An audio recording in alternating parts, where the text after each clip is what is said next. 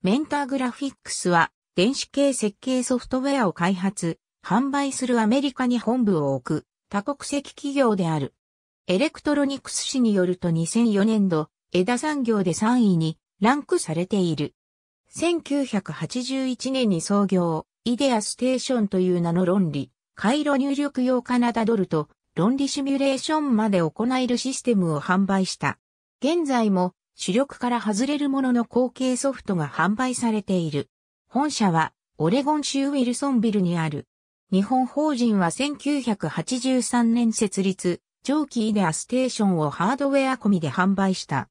アポロがヒューレットパッカードに買収されて、以降はソフトウェア販売のみを行うようになり、サンなど複数のプラットフォームへの対応も進められた。この際、移植を容易にするため、開発ツールとして GNU プロジェクトのツールも採用された。合わせて、各種ツールの共通の設計環境とすることを目指して、ファルコンフレームワークを開発した。GUI としてはモチーフに類似したデザインとなっており、異なるプラットフォームでのユーザーの操作の共通化を図ろうとしたものである。その後メンターは他の枝ベンダーの買収を繰り返し商品系列を増やしていった。買収によって入手した代表的な製品にモーデルシム、カラーバーなどがある。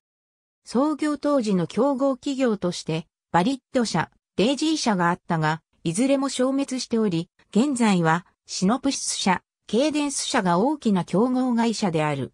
2017年4月にドイツのシーメンス社に45億ドルで買収され、シーメンスのデジタルファクトリー部門の一部となった。2021年1月に法的統合が完了したことによって組織の名称がメンター、シーメンスの事業からシーメンス枝となっている。メンターは世界各地に開発拠点を持つが主力は米国に集中している。